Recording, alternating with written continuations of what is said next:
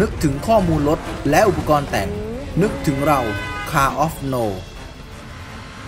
สวัสดีครับ พบกับ Car of No กันอีกครั้ง วันนี้เราจะนำเสนอเรื่องอะไรนั้นโปรดติดตามรับชมกันได้เลยครับ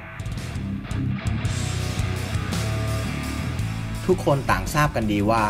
กฎหมายจราจรได้กำหนดไว้ชัดเจน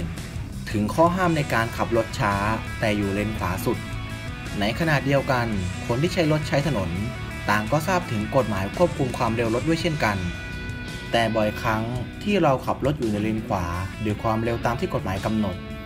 แต่รถที่วิ่งตามหลังมาในเลนเดียวกัน มีความเร็วที่มากกว่า แบบนี้เราต้องหลบซ้ายให้ขันหลังแซงหรือไม่ วันนี้ Car of No มีคำตอบมาให้ทุกท่านกันครับ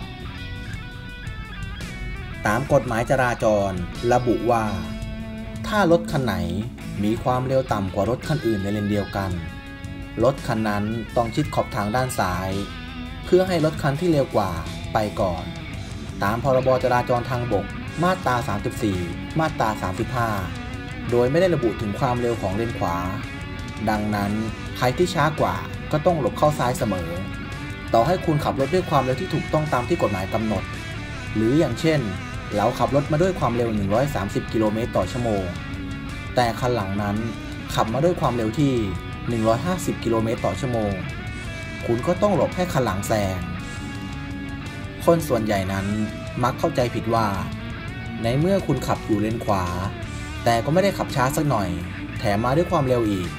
แต่คันหลังนั้นดันมาเร็วกว่าทำไมต้องหลบให้ด้วย ความคิดแบบนี้ถือว่าผิดนะครับ เพราะอย่างที่เราบอกไปแล้ว ต่อให้คุณขับรถมาเร็วแค่ไหน แต่คันหลังในเลนเดียวกัน มาด้วยความเร็วที่มากกว่า คุณก็ต้องหลบให้เขานะครับ ไม่เช่นนั้นคันหลังที่ตามเรามา อาจจะมาโหใส่เราและขับปาดหน้าเราด้วยก็ได้ ถ้าเราใจเย็นไม่คิดอะไรมันก็ไม่มีปัญหา แต่ถ้าเราโมโหร้อนเมื่อไหร่ นั่นแหละ อาจจะมีปัญหาอื่นๆตามมาด้วยก็ได้ เพราะคนเราสมัยนี้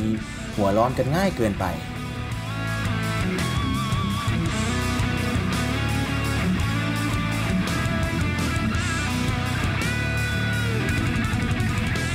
ก็จบกันไปแล้วนะครับสำหรับการนำเสนอในครั้งนี้ ในคลิปต่อไปเราจะนำเสนอเรื่องอะไรนั้น โปรดติดตามกันด้วยนะครับ ถ้าชอบโปรดกดไลค์ถ้าถูกใจโปรดกดแชร์ ถ้าไม่อยากพลาดคลิปใหม่ๆ โปรดกด Subscribe อย่าลืมกดกระดิ่งกันด้วยนะครับ เพื่อจะได้เป็นการแจ้งเตือนการอัปเดตคลิปมาใหม่